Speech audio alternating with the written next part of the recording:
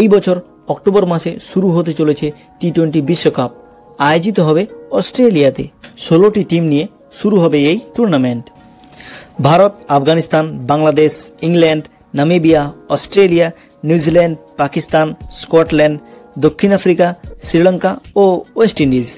দলগুলি গত T twenty বিশ্বকাপের ফলাফলের নিরিখেই যোগ্যতা অর্জন করে এ বছরের টি টোয়েন্টি বিশ্বকাপে গত ফেব্রুয়ারিতে গ্লোবাল কোয়ালিফায়ার এ থেকে বিশ্বকাপের যোগ্যতা অর্জন করে আয়ারল্যান্ড ও সংযুক্ত আরব আমির শাহী এবার গ্লোবাল কোয়ালিফায়ার বি মঞ্চ থেকে বিশ্বকাপের টিকিট নিশ্চিত করল নেদারল্যান্ডস ও জিম্বাবুয়ে। শুক্রবার কোয়ালিফায়ারের প্রথম সেমিফাইনালে জিম্বাবুয়ে সাতাশ রানে পরাজিত করে পাপুয়া নিউগিনিকে দ্বিতীয় কোয়ালিফায়ারে নেদারল্যান্ডস সাত উইকেটে হারিয়ে দেয় আমেরিকাকে। দুটি সেমিফাইনালে পরাজিত দল ছিটকে যায় বিশ্বকাপের দৌড় থেকে।